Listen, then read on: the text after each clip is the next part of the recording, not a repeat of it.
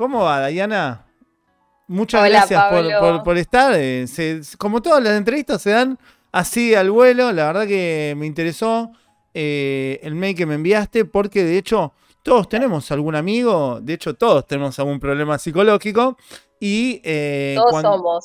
Sí, todos tenemos algún quilombo en la cabeza, pero cuando está acompañado de otros problemas de base o más complejos como adicciones y demás, se puede complicar aún más. Y eh, me interesó mucho conocer tu testimonio. Esto, si bien en el canal siempre tenemos testimonios que son, son muy heavy, eh, esto también puede ser heavy porque detrás de una mala praxis, de una mala atención psicológica, eh, se puede terminar en un suicidio o en problemas mayores o profundizando las patologías de base que no son solucionadas. Cinco intentos en mi caso. Buah, bueno, ¿vieron? Yo nunca me adelanto, ¿viste? Porque a veces, mismo vos en el mail me enviaste, me dijiste, mirá, mi caso es, es algo. Se tiende a pensar que lo de uno es mucho menos que lo demás, porque uno en este canal ve casos que son terribles, pero llegar a un intento de suicidio, más que eso, más terrible que eso, creo que no puede, no, no hay, porque la realidad que. Claro, cuando uno llega a ese punto es que no hay vuelta atrás. Eh, ¿Cómo fue, Dayana? ¿Cómo, cómo, bueno, si querés contarnos cómo, cómo fue el proceso este, eh, cómo terminás siendo captada por este lugar, pero básicamente qué situación estabas pasando. Eh, bueno, hola a todos, primero que nada, gracias por el espacio. yo, como te dije en el mail, tardé un tiempo en darme cuenta que lo que a mí me había pasado era parte de esta coerción y de la manipulación. Eh, yo justamente te hablaba con un seguidor tuyo, así por nada, comentarios en Instagram, y le decía, está en todos lados. Yo soy una, yo soy atea, eh, de una familia que cree mucho en la ciencia, de una familia que viene muy de abajo y cuando tuvimos inconvenientes, vamos a terapia. En Argentina, los que vivimos en Argentina sabemos que ir a terapia está súper normalizado, súper naturalizado. Y entonces era, bueno, hagamos terapia. Y yo cuando vos decías esto de, lo quiero aclarar, cuando decías esto de eh, casos extremos, ¿no? Yo todavía veo en tu canal casos súper extremos y uno tiende a decir, bueno, lo que a mí me pasó por ahí no es tan trágico, tan terrible, yo no, no me pasó algo tan serio. Y después decís, un momento, eh, o yo digo, un momento, yo también me tuve que, fui parte de, o fui captada, o fui captante también en algún momento, porque eh, todo este tipo de, lugares y de situaciones se dan por el te recomiendo, por el a mí me resirvió, esto lo escuchaste 850 mil millones de veces, y perdón, tengo ansiedad, parame porque yo empiezo a hablar. No, no, dale, dale. No, y yo tengo ansiedad también por, por interrumpir. Soy un interrumpidor serial. Por eso trato de contenerme, me muerdo los dientes, yo escucho, ¿viste? Claro, bueno, mi, historia con este tipo de. Yo tuve. No, lo del mindfulness fue al final, que termina el año pasado, eh, pero previamente había tenido una experiencia con medicina antroposófica. Eh, es el día de hoy que me. Eso te lo guardaste. Eso te lo guardaste, no me lo dijiste. Te, dije, te dije en el mail hay muchos más detalles. Me estás haciendo un dos por uno. Te invitamos para hablar de Mindfulness y me venís con otra porquería más. sí, te, querés te voy a cobrar la sesión. debatimos también. Te, voy a cobrar la sesión.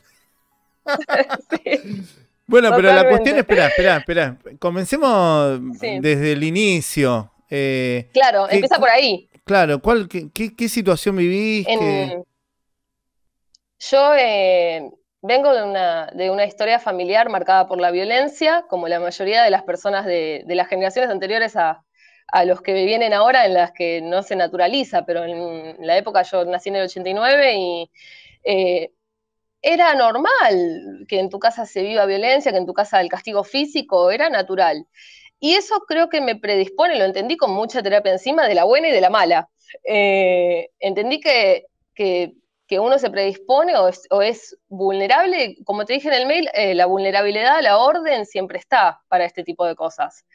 Y entonces, em, en mi adolescencia empezamos a recurrir a terapias, primero fue psicoanalítica, después cuando eso ya no alcanzó, por ahí algo más conductual. Y bueno, todo se detona en el 2014. Yo, 25 años, estaba en una relación con una pareja, una persona, un asesino o un intento de asesino. Eh, y ahí tengo mi primer intento de suicidio. Tuve mi primer intento de suicidio en una, tras una paliza que me da esta, esta persona. Ocho días en coma, dicho sea de paso. Pero a mí no me gusta ponerme en un lugar de víctima, sino me gusta plantarme en una posición de, de esto tengo que aprender y tiene que salir algo. Y por eso, eso fue lo que me llevó a comunicarme con vos. Eh, ¿Me sirve a mí o le puede servir a alguien? Entonces, en el 2014, yo estaba primero con un psiquiatra que resultó no ser psiquiatra, sino ser cardiólogo, o sea, una mala suerte bárbara la mía. Y algo similar, a, algo similar al doctor Rossetti, que es médico clínico, pero el tipo hace recetas de receta yoga, receta meditación. De todo. Se amparan bajo esta figura de medicina del estrés. Tiene que ver con lo psicológico, lo psiquiátrico, que son cuestiones mentales. Pero bueno, el tipo te arregla lo que sea. Y a mí me, claro, y a mí me dan un diagnóstico X, que no viene al caso, me dan un diagnóstico. Y yo lo que siempre digo es que dar un diagnóstico así como así no es algo gratuito. Yo aparte estudié medicina en la UBA, no ejercí, pero estudié medicina en la UBA. Eh, dar un diagnóstico no es algo gratuito para la persona que lo recibe, porque se te mueven un montón de cosas, tenés que comprender la vida desde otro lugar, tuve que reentender mis vínculos, tuve que reentender un montón de cosas para después enterarme, no, no, eh, vos no, no tenés eso, tenés otra cosa que se resuelve de otra manera. Y bueno, la, cadena de mala suerte se continúa con eh, una terapeuta que no lo puedo negar, como dicen las abuelas, una cosa no quita la otra. Y esta terapeuta me ayudó mucho y empezamos una terapia que era más de, de un estilo conductual que se aplicaba al trastorno que yo realmente considero que tengo y muchos psiquiatras después me confirmaron que es el trastorno límite de personalidad. Eh, TLP, vamos a decirle. Entonces eh, empiezo a pasar de psiquiatra en psiquiatra porque es un, era un, trastorno conductual que es muy difícil de tratar. Eh, estoy unos años con esa terapeuta y ella me empieza a hablar de homeopatía, de todo siempre de a poquito, ¿no? Camino de hormiguita. Con el eh, clásico, y te va a ayudar. No, con el clásico a mí me sirve. Ah, bueno, con el clásico a mí me va bárbaro. Sí, a mí me funcionó. A mí me va bárbaro. Sí, sí. A mí, a, mí, a mí o a mi tía.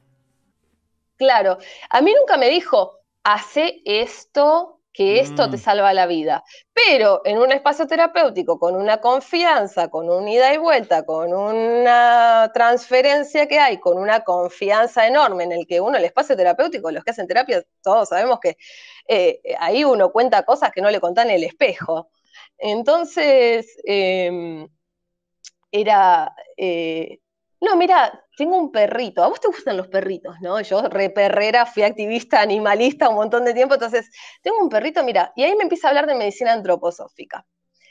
Y yo, imagínate, me empieza a hablar de medicina antroposófica. Es el día de hoy que me preguntan, Pablo. La misma, pará, la misma, que te, la misma que te La misma.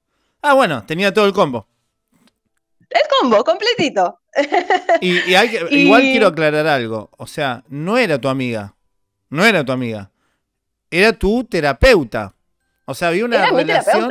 Había una relación paciente-profesional. O sea, eh, básicamente lo que te está haciendo es recetar y recomendar terapias. Terapias entre comillas. Exacto. No, en el medio, imagínate, astrología, en el medio, imagínate, cosas en las que yo nunca por ahí mucha bola no le daba, pero eh, cuando me habla de medicina antro, ya la palabra medicina, adelante tiene un peso. O, como dicen ahora, psicología transpersonal. Pero no es psicología, no es psicóloga. Es tu, es tu vecina de la vuelta que no terminó el secundario y hizo un curso de fin de semana y ahora dice que es psicóloga transpersonal. Y vos decís, es psicóloga. No, no es psicóloga, ¿eh? No, no, nada que ver.